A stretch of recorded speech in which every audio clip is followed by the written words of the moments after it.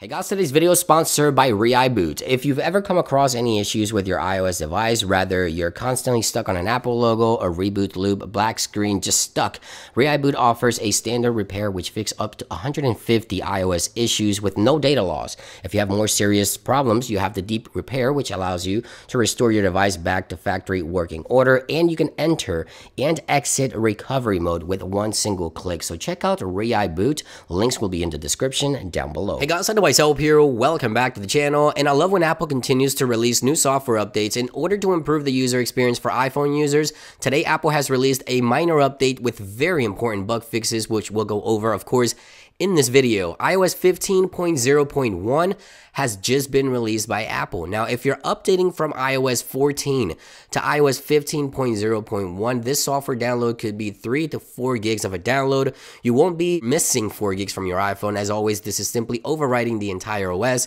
However, if your iPhone or iPad is running iOS 15.0 and you're updating to 15.0.1, you could see close to 600 to 700 megabytes of a download. And again, I love when Apple releases new software updates in order to improve the user experience and this is a perfect example of that. But as always, if you would like to stay up to date with the latest iOS news and updates, make sure to subscribe and turn on notifications so that you do not miss another episode. Now, aside from iOS 15.0.1 for iPhone users, Apple also released iPadOS 15.0.1. And now there's three major issues that Apple is looking to address with this software.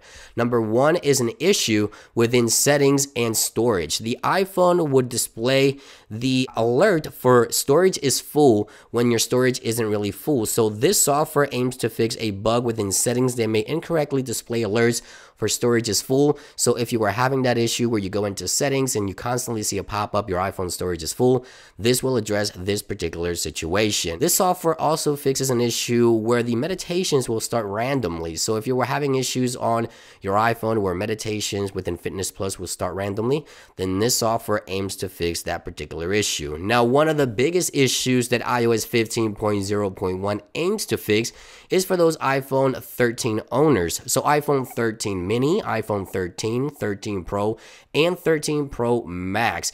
If you've encountered the issue where your Apple Watch just simply was not communicating with your iPhone 13 on iOS 15 to unlock while you're wearing a mask, this particular software update aims to fix this problem for iPhone 13 owners. So mask detection communicating with Apple Watch was an issue on iOS 15 for iPhone 13 owners and this is one of the biggest issues that Apple is looking to address. So now your Apple Watch should communicate properly with your iPhone 13 when you go to unlock your device while you wear a mask. So today 15.0.1 aims to fix these particular issues for the general public. And of course, let me know what you think in the comments down below. Do you like when Apple stays on top of the game where they fix many bugs in order to improve the user experience? Because I'm all for it. I know many users get annoyed with constantly having to update their iPhone, but I think this is a great way for Apple to continue improving the user experience. Again, iPhone 13 owners highly recommend you update. Again, iPad owners, you should update as well. iOS 15.0.1 is now officially out for everyone. I hope you guys have a great weekend, and I'll see you guys on the next one. Peace.